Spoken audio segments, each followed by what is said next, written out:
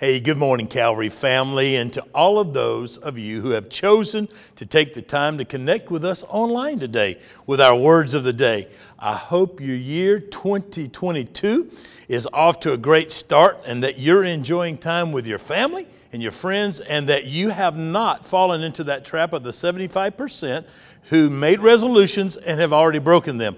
Hopefully, you're part of that 25% that are continuing to go. Today, I'd like to share a bit of my story of bondage to freedom, my story from bondage to freedom. You see, I grew up attending church, fifth row from the back, inner city church, large, large First Baptist Church, Albany, Georgia. Like most church kids, every time that we had revival services or vacation Bible school or, or anything that would have a strong evangelical uh, approach to it, I'd be the one raising my hand, and I got saved so many times. And, and I don't say that as a, as a funny thing, I just say that. I accepted what I knew about Jesus at that time at the age that I was at that time. However, I realized when I was 16 years of age that I had a lot of head knowledge about Jesus, but not that heart knowledge that needed to happen. And so I got down on my knees and, and I prayed and I invited Jesus Christ to become my personal Lord and Savior when I was 16 years of age. And that really started a journey for me of following Christ and becoming more Christ like. Now, fast forward, because I, I came from a, a saving grace and knowledge of Christ at a young age, I learned more about sin after I became a Christian than I did before I was a Christian. And, and I reflect on my life and realize that Chet had weaknesses. Now, I know that that's not easy for everyone to admit, but I've learned it's a whole lot easier for me to admit what my weaknesses were. And each time there was a traumatic change in my life, I turned to alcohol to escape. Now, I'm not a drinker. And I don't like the taste of alcohol, but I did grow up in an alcoholic household. And so, therefore, it was easy for me to just numb the pain. Now, it didn't, really didn't last long. And so each time there was a traumatic change, that's what I did. When I was 18 years of age, I moved out of the house. Born again stupid period is what I call it. My mother was washing my clothes and cooking my meals. I didn't have to pay rent. The house was clean. All I had to do was go to school and go to my job. But I thought I could do better. So at 18, I moved out of the house, and for about a year, I wandered.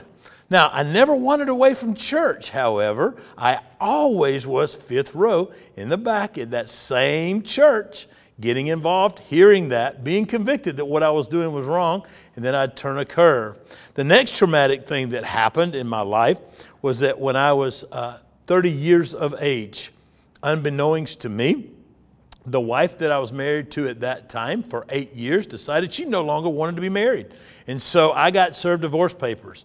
And in the state of Georgia, 30 days later, we were no longer married. I thought I could work back and earn her trust, earn her love, earn her kindness, because I really didn't know, other than just being stupid, uh, as to what I could do to win her back. That did not happen however.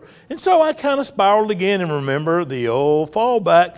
Let's just numb it for a while. Well, that lasted for about a year as well. Apparently, it takes me about a year to learn most lessons. And then, as some of you have heard me reference in other uh, sermons that I have given, I was approaching the age of 40. Now, guys, can I just go ahead and tell you, sometimes your body does crazy things hormonally, psychologically. And I was fighting a battle. I was working in the corporate world. I was working hard, trying to provide for my family. And I just got to the I don't care stage. And that's a dangerous place to be. And so I really spiraled, honestly, for about three years. Psychologically, I didn't care. And that's a dangerous place to be, especially as a follower of Jesus Christ. When you get in a position where you just don't care, that's tough. Well, that lasted for quite a while, and here's the catch. Um, the fall uh, of my 40th year, I decided to um, really abuse alcohol, and in six weeks, I got two DUIs. I remember the second one. Um, they put me in the jail in my mom's hometown. And when my mother came to pick me up the next morning, she looked at me and she gave me that look that moms can give. And she said these words that I'll never forget. She goes, I don't know what's wrong with you, son. Don't know why you waited to be 40 years old to get stupid, but whatever is wrong, you need to get some help. Well, fortunately, in the church that we attended, there was a young lady by the name of Dr. Cheryl Gratton. And every Tuesday morning at 8 o'clock for three years, I sat in front of Dr. Cheryl Gratton and we talked. Basically, for about the first year, just complaining about life. Then I started to realize that I had tools that God had given me that I should be using. After the third year, going into the third year, I began to see the light and came out of that. My wife totally loved me through all of that. Um, we challenged one another just to not let things go unsaid, that we would share. And so finally, God had me exactly where He wanted me. You see, during that process, I had embarrassed my wife, my mother, and myself. And I remember, as I said, that day when mom picked me up. And I never wanted to see that happen again. And that's when I started the journey from bondage to freedom by meeting, as I said, 8 o'clock for three years with a Christian counselor who helped me understand my relationship with Christ, who helped me discover tools that God had given me, how I could cope with life. None of them, by the way, involved alcohol. I've been sober for over 20 years, and because I've allowed the Holy Spirit of God to deliver me from my pain of life, some of you may be struggling. And you may have an addiction saying, I'm not hurting anyone but myself. But can I assure you that's not true? That's a lie from the pit of hell.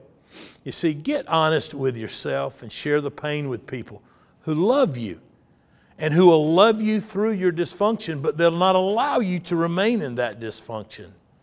Bondage to freedom. You see, sin has no hold on Chet, and God can deliver you the same way. Get the help that's available.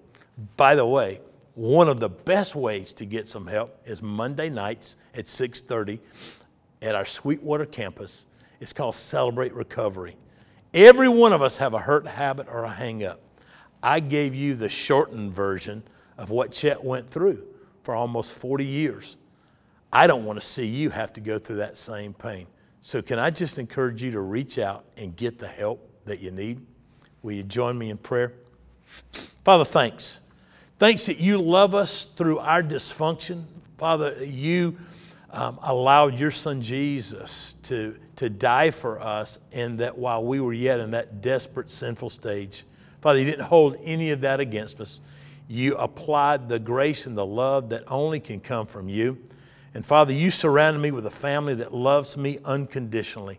And Father, you gave me an opportunity for the last 18 years to serve here at Calvary. Thank you, Jesus, that you've allowed me to share my story today. Hopefully, you'll use it to lead others to a life changing relationship with you. In Christ's name we pray. Amen. God bless you and hope you have a great week. See you this weekend.